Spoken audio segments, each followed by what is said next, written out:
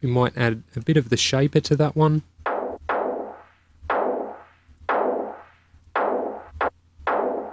And also might increase the release time of this one slightly as well.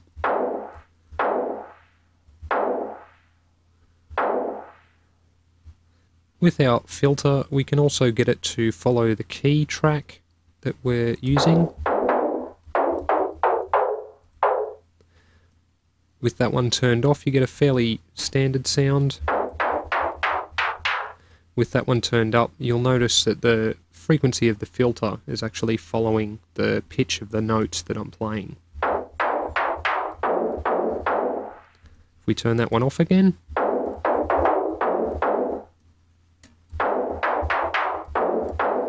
you'll notice that you get a bit more of a natural sound with the key track turned up than you do with it turned down, although you can get some quite interesting sounds by using a static sort of filter as well. So to add that extra bit of movement in there, we might just get our auxiliary envelope and we'll chuck that one on our shaper amount. Bring that one up.